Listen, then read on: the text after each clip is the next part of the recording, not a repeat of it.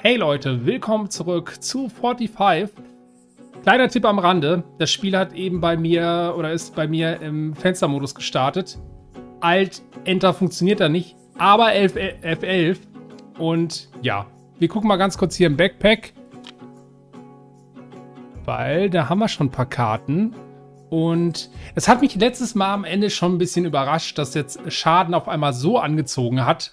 Ich habe mich ein bisschen vom Spiel ein, einlullen lassen.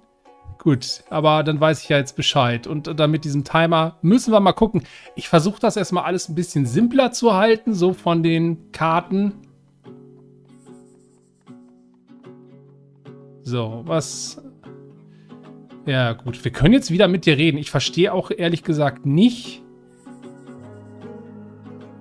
wenn man diesen Dialog einmal bekommt,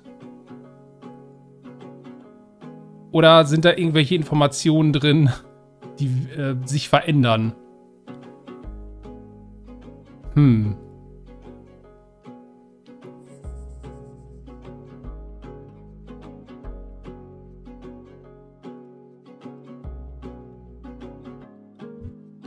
So, damit kann ich halt jetzt noch nichts anfangen. Hier können wir noch mal reden.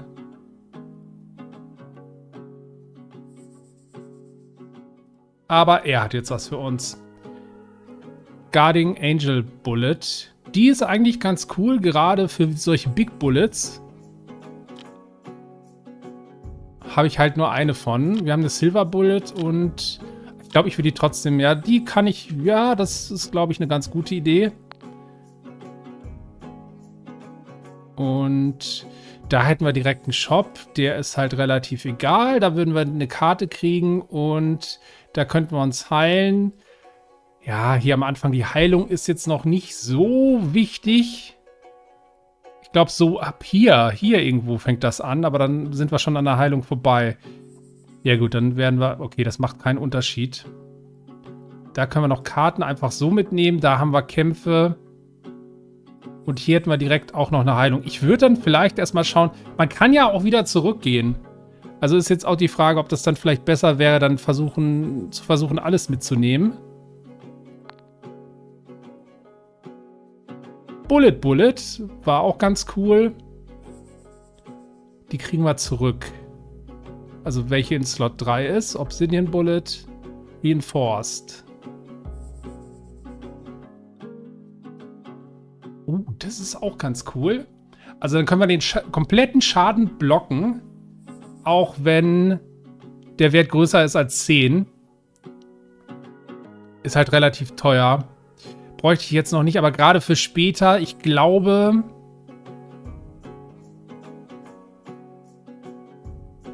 Ich nehme erstmal Bullet.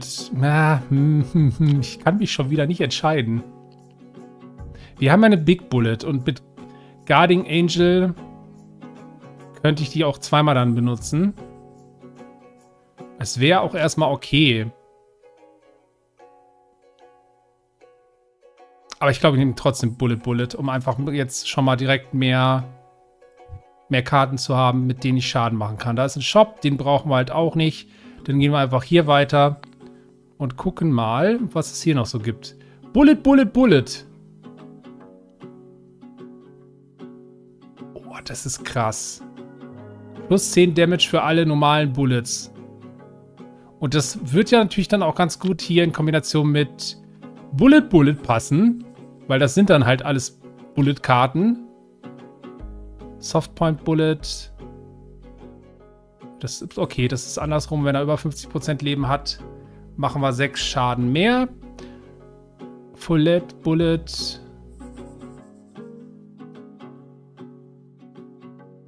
Und Turn in und Turn begin. You get Poison. Ich glaube, ich, das wird halt schon, das wäre halt schon besser. Sieht das erstmal ganz gut aus, was so den Schaden angeht. Und ich hätte halt gern noch irgendwie eine Karte, die dann komplett sämtlichen Schaden wegblockt. Gut, und was das hier jetzt ist, ähm, er macht 8 Schaden. Also im Prinzip könnte ich mir jetzt hier auch Schaden fangen. So ist es ja nicht, ne? Weil da oben haben wir auch noch die Heilung. Und so viel Schaden kommt da jetzt wahrscheinlich eh noch nicht bei rum. Dann sollte ich erstmal schauen, dass ich möglichst schnell hier wen erledige. Das passt halt jetzt auch noch nicht so. Wenn ich Guarding Angel Bullet nehme und hier Bullet Bullet reinsetze und da Bullet, dann kann ich halt jetzt auch nicht angreifen. Deswegen werde ich das erstmal lassen.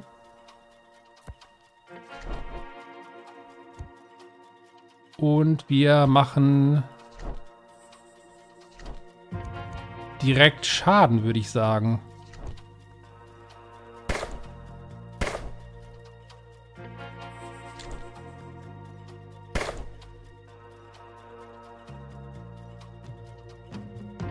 Ah, du machst jetzt 8 Damage. Ja, okay, das war ein bisschen blöd, aber ja, egal. Das passt auf jeden Fall noch, auch wenn wir jetzt ein bisschen Schaden kassiert haben. Ich will aber trotzdem möglichst schnell einen da ausschalten. So, das ist schon mal super. Dann nehmen wir Bullet, Bullet, Bullet, beziehungsweise... Ha, würde ich mir dann erst noch mal sparen. Reserve wäre halt noch eine Maßnahme. Und dann nehmen wir hier einfach mal zwei normale Bullets mit rein. Worker Bullet lassen wir da erstmal noch. Und die Hälfte hat er schon weg. So, er wird jetzt angreifen. Wir haben jetzt aber auch mehr Möglichkeiten. Also Bullet Bullet könnte ich direkt wieder nehmen. sind halt beide schon sehr, sehr teuer.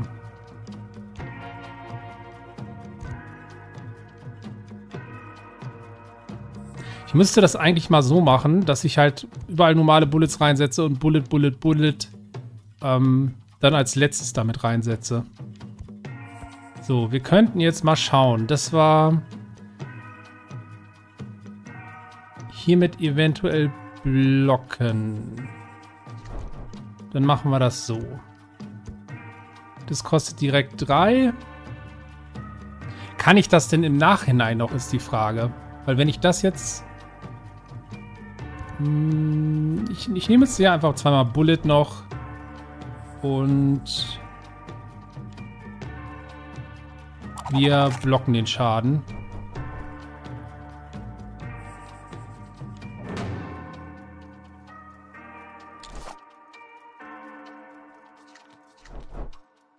So, dann haben wir da eine Worker Bullet. Genau, dann würde ich jetzt halt auch sagen, wir nehmen jetzt hier noch eine Bullet. Oh ja, genau so. Genau so muss das laufen. Und ich hoffe...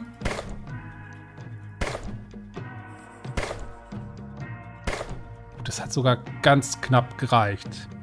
So. Die würde ich mir jetzt auf jeden Fall erst nochmal aufheben. Um halt das Maximum daraus ziehen zu können.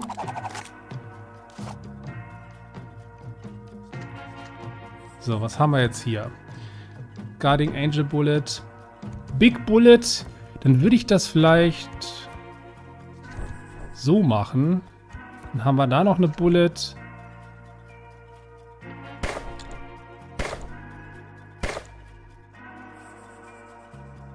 Und verschieße ich die jetzt auch schon oder...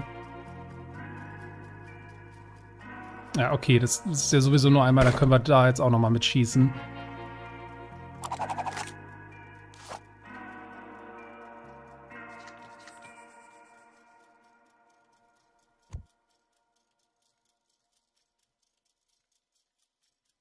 Ich habe halt hier so viele Bullets. Aber trotzdem machen wir. Und dann packe ich hier einfach noch eine Worker Bullet rein. Big Bullet hebe ich mir dann erst nochmal auf. Wir schießen zweimal, dann hat er noch 64. Und wir belassen es erstmal dabei.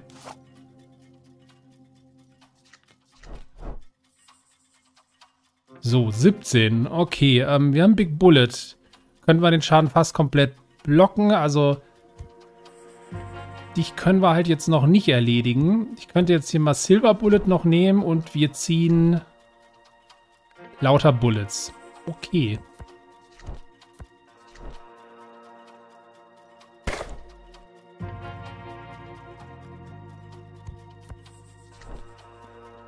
Dann würde ich trotzdem sagen, wir werden das jetzt einfach mal blocken.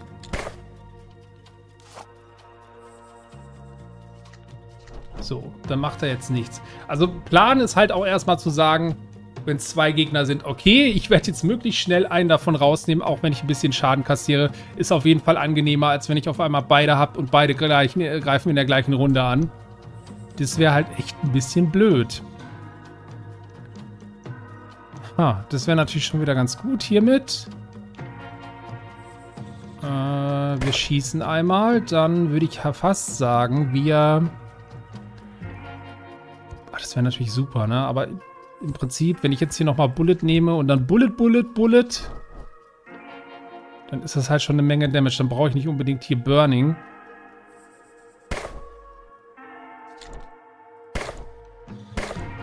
Weil das reicht dann ja auch schon, um den zu erledigen.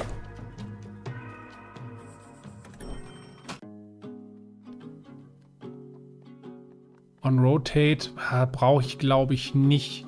Vielleicht sollte ich davon auch nicht so viele mitnehmen, weil ich habe ja steht Worker Bullet oder hier okay, on Place Down, das ist dann relativ egal.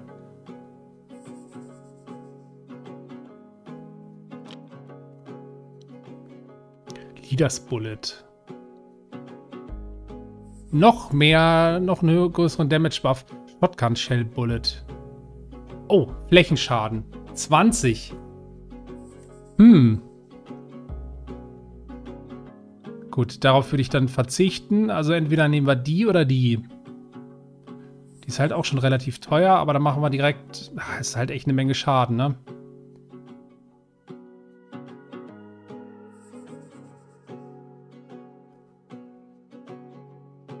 Ich glaube, ich nehme Leaders Bullet. Das wird, glaube ich, jetzt erstmal besser passen, auch wenn wir dann halt keinen Flächenschaden haben, aber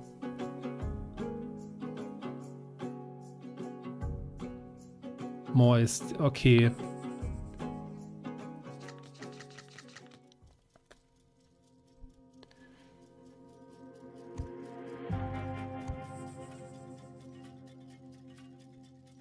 Dann wäre es ja jetzt eigentlich am besten zu sagen, every time it turns. Heißt das auch, wenn ich die verschieße? Oder, okay, das ist halt so ein bisschen, ein bisschen blöd. Und auch jetzt hier Big Bullet, Bullet, Bullet, Bullet. Würde ich halt zumindest einmal schießen. Und... Das ah, ist halt echt die Frage. Weil 16 Damage sind halt auch nicht so wenig.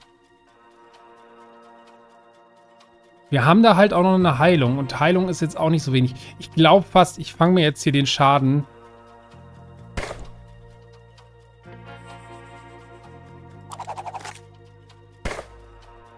und versuche lieber möglichst schnell den einen zu erledigen. Wir haben noch 18 Leben. Und ich glaube, letztes Mal bei der Heiloption war das, wären das irgendwie 18 gewesen. Gut, da habe ich Max HP genommen. Aber ja, machen wir das so. Worker Bullet würde ich halt auch dann als letztes reinsetzen. Das hier ist natürlich so eine Sache. Wobei, jetzt einmal das so zu machen, ist halt auch nicht das Problem. Dann würde ich halt eher sagen, ich nehme jetzt hier erstmal die ganzen Bullets. Warte auf die nächste Runde und dann spiele ich Bullet, Bullet, Bullet.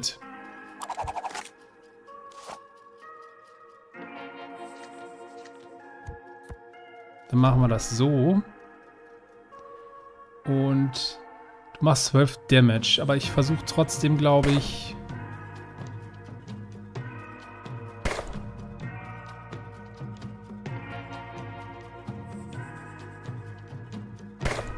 Okay, Moment. Das sind halt die falschen äh, Fahrten für sowas. Für das hier. Das ist halt ein bisschen doof. Hm.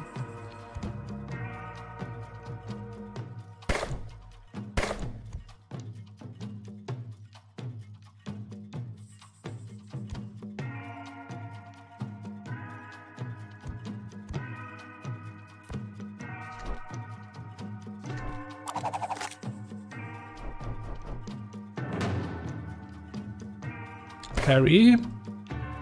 So, dann haben wir noch elf. Okay, langsam, langsam wird die Luft ein bisschen dünn. So, ich würde erstmal die hier nehmen. Dann schießen wir einmal. Und dann haben wir noch Big Bullet. Braucht mehr, braucht mehr Reserve.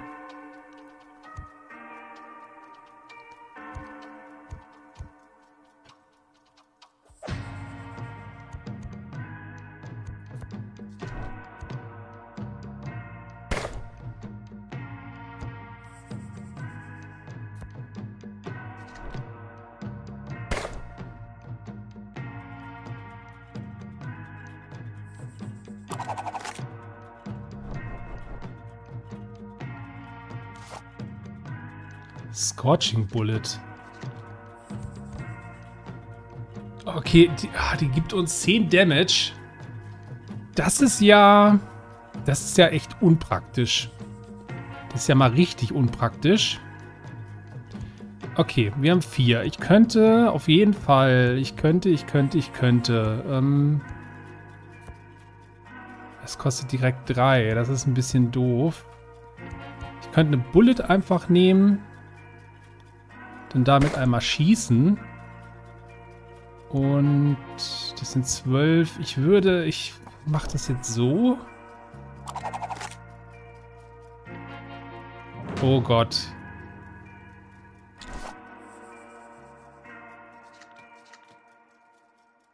Ja, die Luft ist ein bisschen dünn.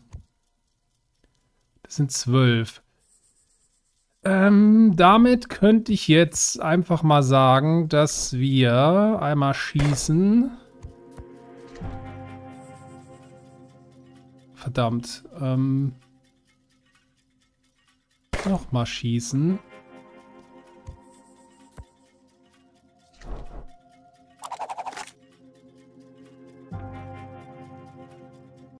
Verdammt. Verdammt. Okay. Ah, ich muss mehr darauf achten, ähm, was die Kämpfe für Modif Modifikatoren haben. Das war in der Theorie, Theorie so gut ge äh, gedacht mit den Karten.